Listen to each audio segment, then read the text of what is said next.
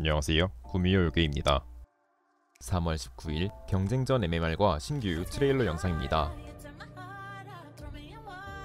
MMR은 전체 서버에서 다른 유저 대비 자신의 위치를 정확하게 알려주는 일종의 로케이션 시스템입니다. MMR을 공개하게 되면 게임 시작 전 상대를 확인하지 않아도 대전이 공정하게 매칭됐음을 어느 정도 확인할 수 있습니다. 하지만 여기서 MMR을 단순히 실력을 가늠하는 비교 지표로만 보게 된다면 대부분의 플레이어에게 부정적인 영향을 미칠 수 있습니다. 자신의 경쟁전 점수와 MMR 사이 상관관계를 판별하기가 쉬운 일은 아니기 때문이죠. 정확한 MMR 판별을 위해 충족해야 할 판수를 채우지 못한 경우가 대표적이고 세부적으로는 플레이어가 주로 다루는 포지션을 선택하지 못한 경우나 당일 컨디션이 특별히 좋거나 좋지 못하는 등 때로는 말 그대로 그저 게임이 잘 안 풀리는 경우도 있겠죠. 이렇게 수많은 경우의 수를 모두 산출하여 통계를 내기가 까다롭기 때문에 대부분 유저들의 rank rating과 MMR 점수의 차이가 고르지 못한 편입니다. 따라서 MMR은 발로란트가 공정한 대전을 구성하기 위해 활용하는 시스템이지만 플레이어에게는 절대로 보여주지 않는 시스템입니다. 다만 플레이어의 수준을 어느 정도 가늠할 수 있게끔 고유의 tier 제도를 활용하고 있죠. 하지만 이 또한 어느 정도라는 한계를 갖고 있기 때문에 발로란트는 MMR을 개별 플레이어의 추정 실력대의 하한선에 가깝게 배치합니다. 추정 실력대의 하한에 배치하는 이유는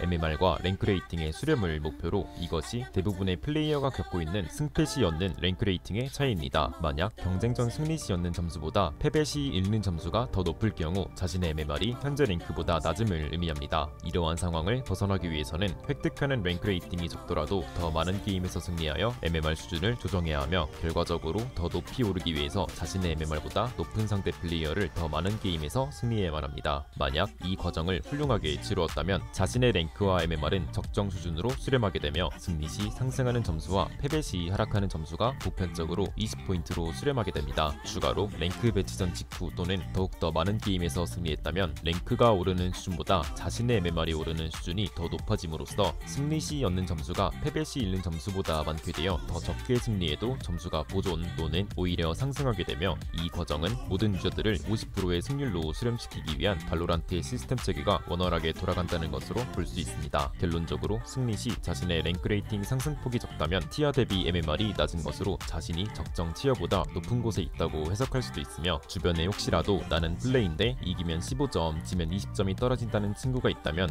넌 원래 골드인데 플레인 척하는 거야 라는 말 대신 MMR이 높은 유저가 많기 때문에 이들보다 더 많은 게임을 승리해야 한다고 전해주시면 되겠습니다.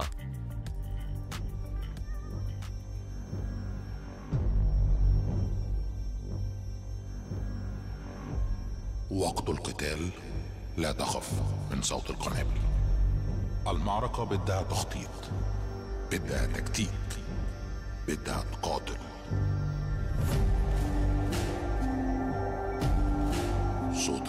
القنابل عالي والسيوف ما بتنكسر.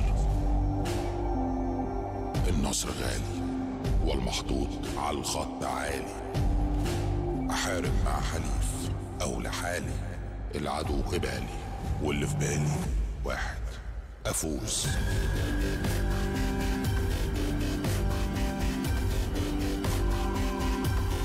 هل أنت مستعد تخوض لأجل المجد؟ في الوجود تعيش أو تموت تنسحب أو تفوت.